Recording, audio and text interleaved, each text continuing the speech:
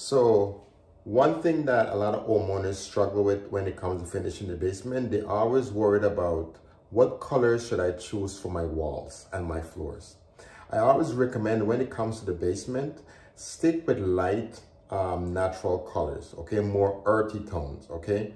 My favorite go-to color um, that I use on a lot of my clients' uh, um, basement is called Silver Satin by Benjamin Moore. I think the number is OC26, okay?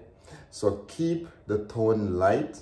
Um, also, you don't want to go with too much of a dark wall with a white ceiling.